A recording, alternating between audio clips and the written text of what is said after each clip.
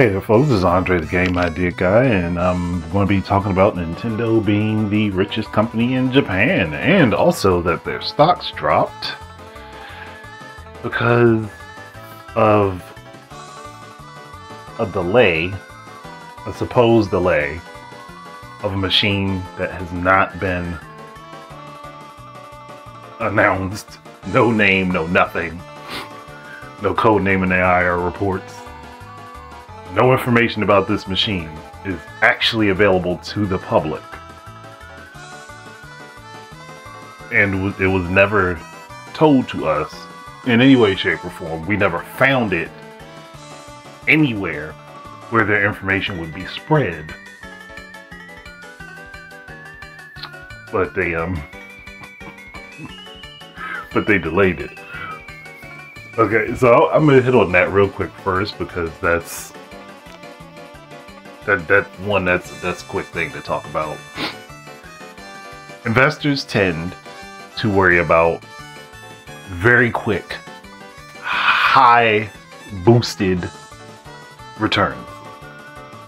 They're not worried about long term, at least not as not for the majority that I have seen of things about. They're worried about a quick hit and a quick pull that that wouldn't have sounded right. I'm gonna stop there.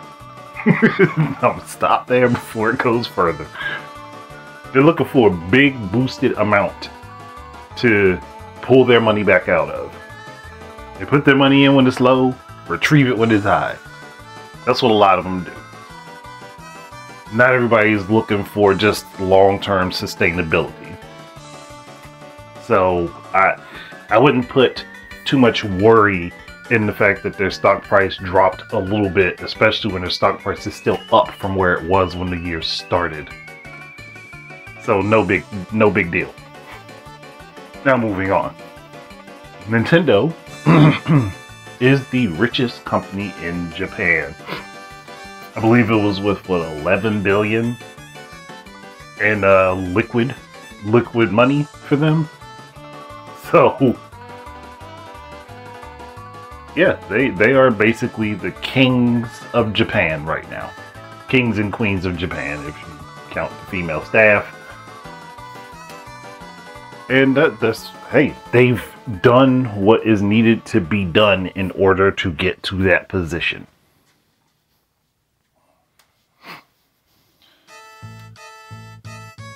Look, it's ironic, though. really ironic because it was a guy that posted a meme of a per perfect sale with the PS5 color scheme. it said, uh, they said Microsoft defeated, Nintendo defeated. I, I, I severely wish I was in the in the Nintendo's position of being defeated. I really do because if you get defeated and you become the richest in your country, I, will take that defeat anytime. I will take that. I, will take that. I will gladly take that loss. I will smile at that loss. like, that's where fanboyism goes completely wrong. It, it's it's like one of those things where you just like, bro, just don't, just don't, just just don't do it. I don't know. Maybe it's those those double A shovelware games that they're pumping out. Maybe that's why they're the richest company in Japan. Gosh, man. I swear. The memes that come out of the community for the people that just have no grip on reality. Funny as hell. it's just funny as all hell. And I just sit down and think about like dude, let, let's just be real. They have done what has been best for their company to be able to thrive. For the most part, it seems their employees are happy out of a outside of a few that here or there that have some grapes.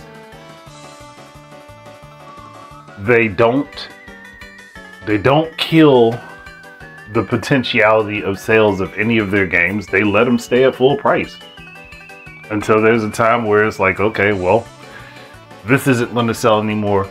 Let's make a player's choice version of the game and put it out there for about 20 bucks. Then you have the Nintendo Switch Online service, which people are saying nobody's nobody's paying into, but apparently they're making money off of it. I, I would just love to know how people think that by buying into something that the company has set at a price that they determine they can make money off of, they're not making money off of it. I'm pretty sure within the first one to two million people that subscribe to that service, Nintendo was was making bank off of it and that's before the expansion pack was added. So they've been making money hand over fist for every avenue. Then you, you still got to count Amiibo. Then you got to count their movies and other merchandise. They make a lot of money. They have plenty of streams of revenue. Held that deal with Lego for the uh, Lego Mario game not video game, but the board game. I actually wish that they would make a Lego Mario video game. I actually wish that they would do that with a lot more of their franchises. They probably make way more money. If you could get the team that does the Lego games to work on a, a Lego Star Fox, that shit would sell. I know it would. I'm just honestly waiting for them to put the effort into it. Honestly, a lot of I might have to start doing some videos on that. Um, which games by Nintendo can be turned into Lego, or how they could be done. Because I mean, essentially, it's going to, for the most part, be the same game with some unique differences based on the IP. But that that could that could work. I mean, shoot, I'm already thinking about doing a series on different Warriors games. I could definitely run a series on Lego games yeah, that's something to think about. Future uh, thoughts here.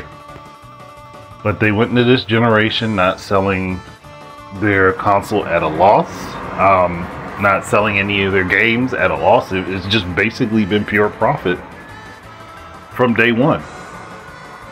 Day one of the Switch, it's pretty much been pure profit going forward, and they've they've made it that way. Everybody makes fun of the fact that they don't cut the price on their stuff. But um, on the contrary, look at someone else in the the same arena, in the gaming arena. Sony. They discount their stuff heavily.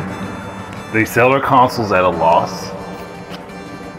And now they're putting their games on PC to try to recoup costs and they are in massive debt. So massive that they don't make the top 200 richest companies in Japan. That's bad for them. That's bad for their business. But yet they're still trudging along trying to sell people on the idea that, hey, this is the best shit ever we're gonna charge you out. We're gonna charge you out the ass for every little thing that we create. But guess what? Our brand, you have it. It means you're the best automatically. Looks like that's not the case, ever. so, and that's not to to try to crap on Sony's products. It's, say what you will, at least what they make is usually of a decent quality. Usually. Um, can't say it about everything, but usually. Problem is that they charge premium prices for everything up front, but then they're not making any money off of it. So it's like they overspent, they don't know how to manage their money, and they're not making enough back. People people will laugh and joke about the Switch and call it an underpowered platform and say Nintendo's behind times, but they are the company in the industry doing the best right now. And the, the deal with Sony to work on the Legend of Zelda movie is probably going to benefit Sony more than it's going to benefit Nintendo. Because again, Sony has massive debt massive debt. The company is still in the red. Everybody thinks that, oh yeah, we we made a lot in revenue, but that what is your profit? What do you take away from that in the long term? If if that is still zero, it don't make much of a difference now, does it? At that point, you're paying into a losing system. Sony needs to fix that. And I've said it before. Sony has a chance to reverse this for themselves. They have a chance to flip this so that they can start making money. But it's going to come with a few years of hurt. It's going to come with a few years of hurt. And it's not going to be, oh, bump up your graphics every now and again and everybody will forgive and, and forget. Sony has around what 50 million ish units for PS5 sold. I still don't think that the majority of those are in the hands of individual people who actually play on that system. I'm I'm thinking honestly at least a third of that is still sitting with scalpers who have yet to be able to actually sell the physical hardware that they purchased. It just it sales wise, a lot of things don't add up for Sony, and I'm I'm not even I wasn't even trying to go into this route. It just I ran ran off on this tangent, but it just doesn't make sense for several things. So again, Nintendo's killing it. Make fun of the company for all the things that you dislike about the company, but they are killing it. They're doing what a business is supposed to be doing, and that's making profit. So, be mad at them for not, not dropping the price of their, their games on a regular basis, for now charging for online service because they hey they gave away online service for two generations for free, and people still didn't appreciate that. and now they've put together a paid service with what people asked for last generation that they are now complaining about, at least openly. Um, I, I, don't think the majority really care. The majority is like, okay, this is what I gotta do to get what I want. Okay, I'm gonna go ahead and do it. But you got the loud, uh, loud mouths on the internet.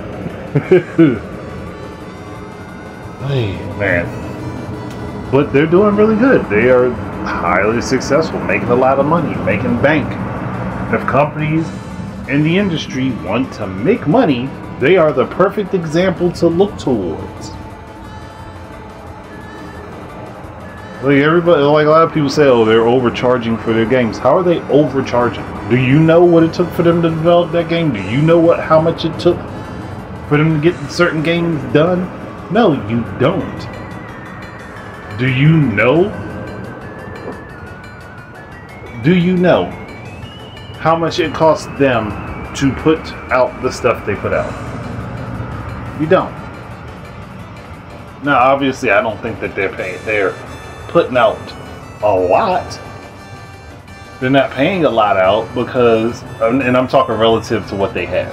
They're not paying out a lot relative to what they have because they're not stretching themselves thin. They have multiple teams working on multiple projects. and for the majority, most of those projects turn out very well. Pretty decent. Where they don't have to sell 15 to 20 million units in order to make money off of what they made.